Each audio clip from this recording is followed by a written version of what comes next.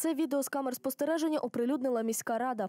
П'ятеро невідомих, імовірно, і є зловмисниками, які близько опівночі 30 жовтня пошкодили фотозону Я люблю Ужгород. Наступного дня одну з літер демонтували, і ось як вона виглядала.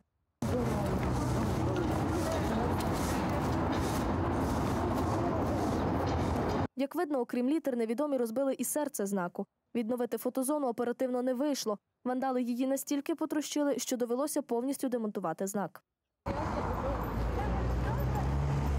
Враховуючи те, що його естетичний вид був не ідеальний, то вирішили його демонтувати з тим, щоб е, його відреставрувати і знову встановити. Напис Я люблю Ужгород був виготовлений з матеріалу, ну точно назвати його не можу, але він був розрахований на навантаження не більше 30 кг.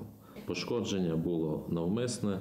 Щоб притягнути винуватців до відповідальності, міська рада подала заяву до поліції. Осіб, причетних до інциденту, наразі встановлюють. Якщо їх провину доведе суд, сплатять штраф 170 гривень та відшкодують матеріальні збитки.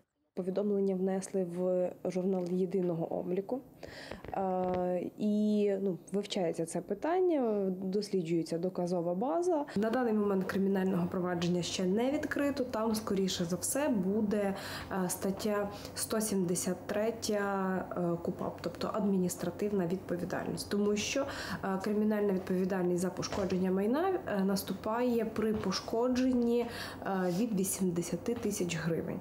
Самі ж містяни запевняють, що знак Я люблю Ужгород був чудовою фотозоною для селфі та популяризував місто.